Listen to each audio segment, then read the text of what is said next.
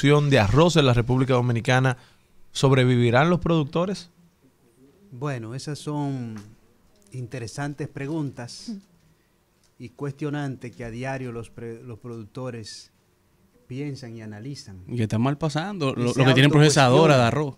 Y se autocuestionan. Miren, vamos a hablar un poquito del antecedente. En el año 2004, hace 20 años, la República Dominicana se interesó por formar parte del Tratado de Libre Comercio entre los Estados Unidos y Centroamérica. Y entonces, en ese marcado interés, el presidente de esa época logró que los países aceptaran a la República Dominicana.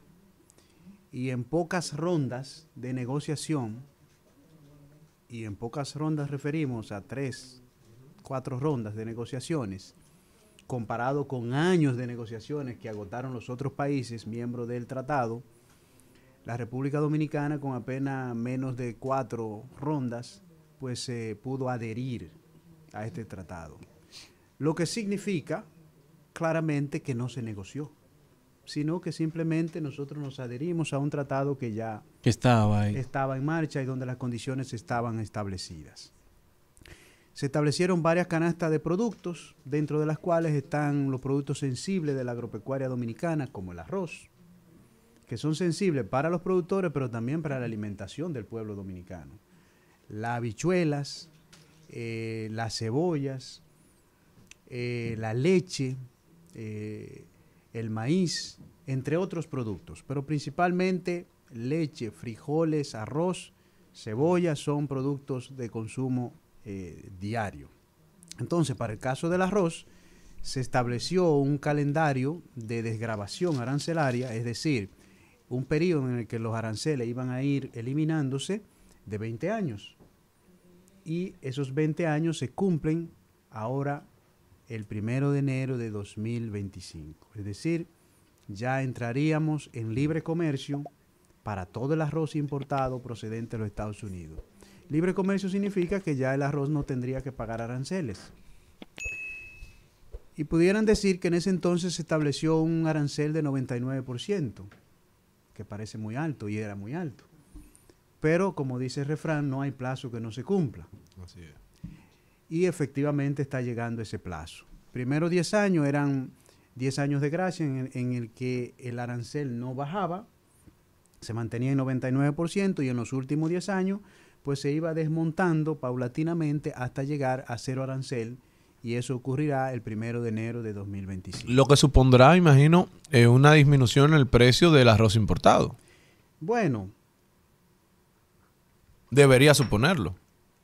Eh, como yo soy economista agrícola y me baso en los datos, lo que ha pasado, por ejemplo, con la carne de cerdo que ya está libre, con las habichuelas que están libres de pago de aranceles, no es así. Es decir, contrario a la teoría económica que sí, sí a lo que se supone que se espera. Sí indica y se supone que debería haber una mayor competencia porque pueden cualquier empresa libremente puede traer ese producto de los Estados Unidos y entonces si se aumenta la competencia pues pueden bajar los precios. Pues en el caso de la bichuela no ha sido así. Eh, y los precios hoy día se registran sobre 70 hasta 80 pesos la libra a nivel de supermercados y en colmados un poco más alto. Es decir, 30 pesos, 20 pesos más caro que lo que estaba antes de estar en libre comercio. Y obviamente con los efectos negativos en la producción de habichuela local. Entonces, con el caso del arroz, nosotros publicamos un artículo en el Japanese Journal of Farm Management es la revista de la Asociación Japonesa de Administración Agropecuaria en el 2009, donde analizábamos el tema de los efectos del DERECAFTA en el sector arrocero dominicano. Y nuestros modelos matemáticos nos indican que los productores de arroz tendrían pérdidas estimadas en 345 millones de dólares a partir de la entrada en vigencia es decir, de la liberalización del mercado del arroz en la República Dominicana. ¿Cómo tenemos una idea de qué tan grande es esto? Bueno, el valor de la producción de arroz en la República Dominicana, según el Banco Central, son 25 mil 500 millones de pesos aproximadamente. Cuando usted calcula los 345 eh, millones de dólares, ¿qué proporción es de esos 25.500 millones? Es aproximadamente 20 mil millones de pesos. Entonces, ya usted tiene una idea de qué porcentaje, qué proporción representa 20 mil millones de pesos sobre los 25 mil.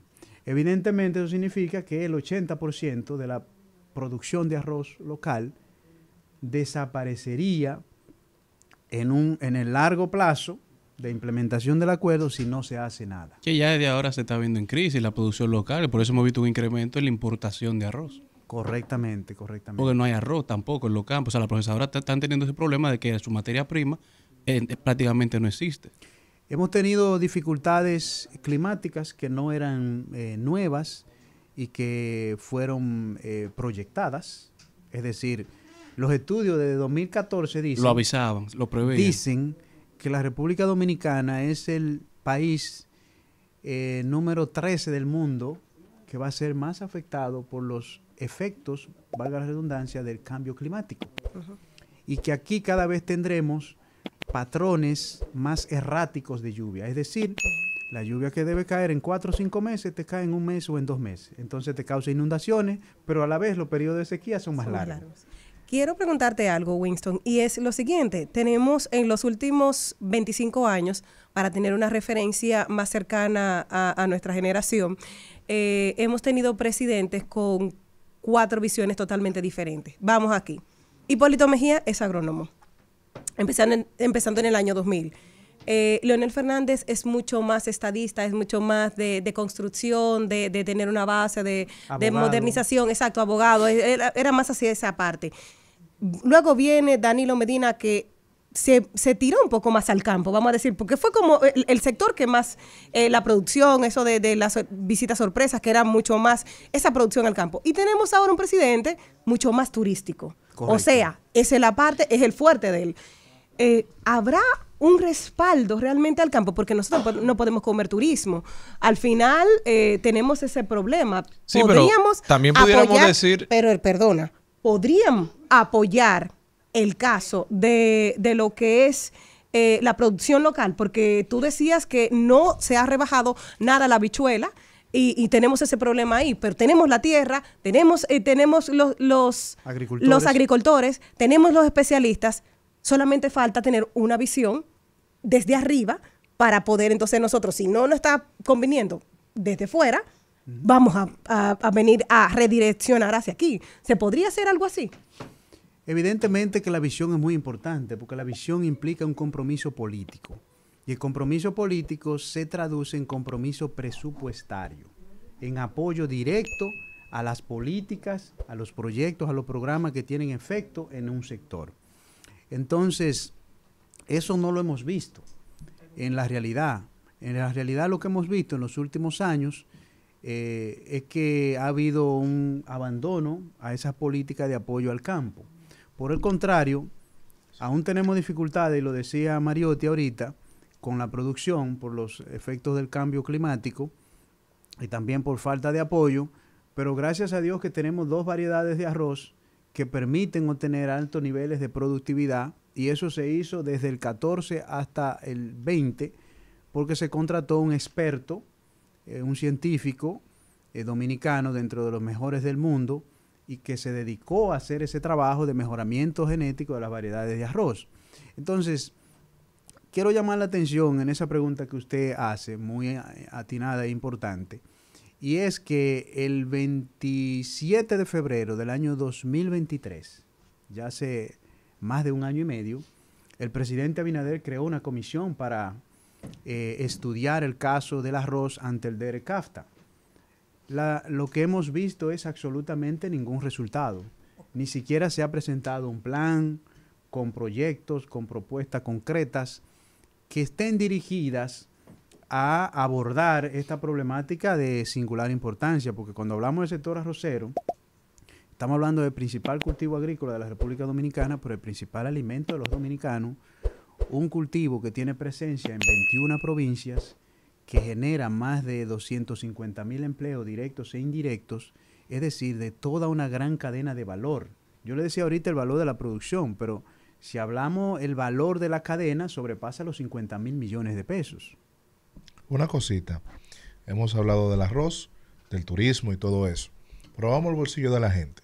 Aquí se ha vendido durante años que nosotros somos los que tenemos la, la canasta básica perfecta, o Sí. por lo menos una canasta, una canasta básica que es una de las mejores de la región, pero basado en los datos que usted acaba de, de otorgar aquí, yo entiendo que es contraproducente, porque no puede ser que tenemos problemas con uno de los principales alimentos, que es el arroz, y que entonces ahora se venda de que nosotros tenemos eh, la- una de las mejores canastas básicas de la, de la zona. ¿Es cierto que la tenemos o no? Bueno, yo siempre me voy a referir a los datos y en este caso voy a citar los datos de la CEPAL.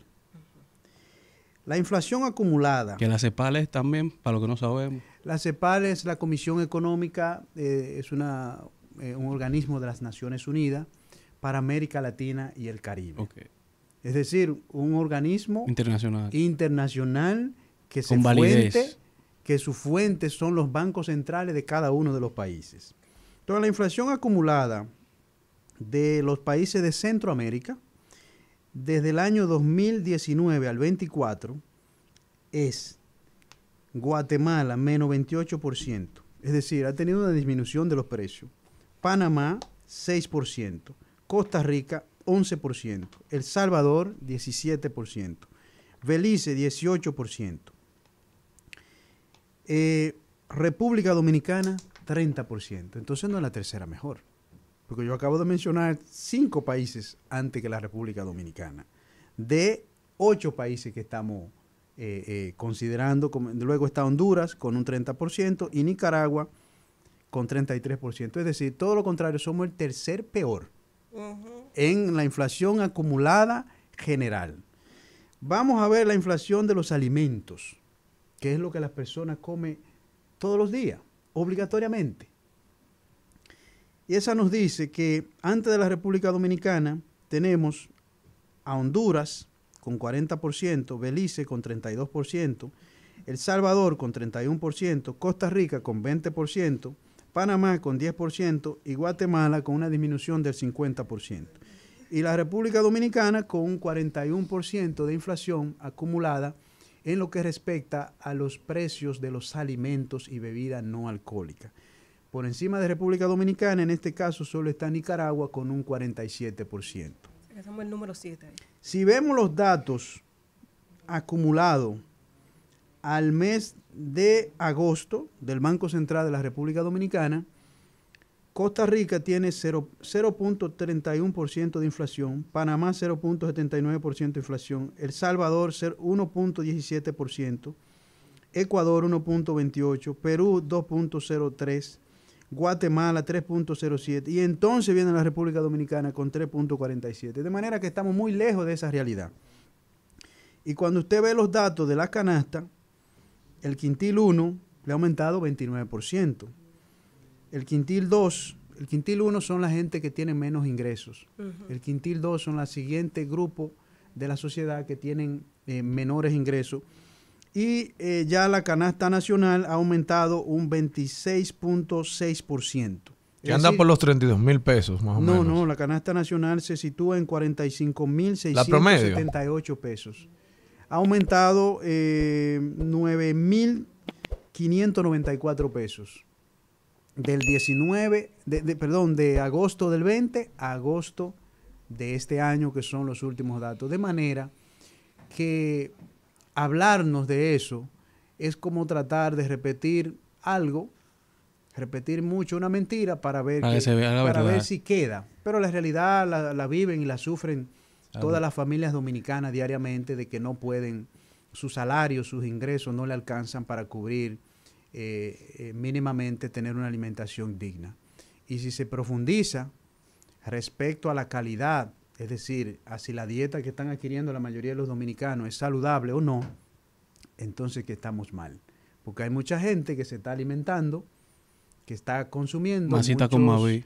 muchos carbohidratos refinados, como pastas, pan y no está consumiendo ensaladas. Es barato y se hace po- mucho. Poca proteína. Usted sabe que aquí hablamos Arroz y espaguetis. arroz, espagueti, Mucha hablamos cantidad anteriormente de, Carbohidrato con de- carbohidrato. de los con altos costos de, de los pollos, de la carne de pollo, del alto precio de la carne de pollo, hablamos anteriormente de eso, que es la principal fuente de proteína de los eh, dominicanos, de manera que eh, resulta casi una burla al pueblo dominicano usted decirle que estamos en el tercer mejor cuando estamos en un caso en el tercer peor y en el otro en el penúltimo en términos de, de- de alta inflación en la región. Winston, ¿cómo se puede continuar esta tan importante conversación contigo?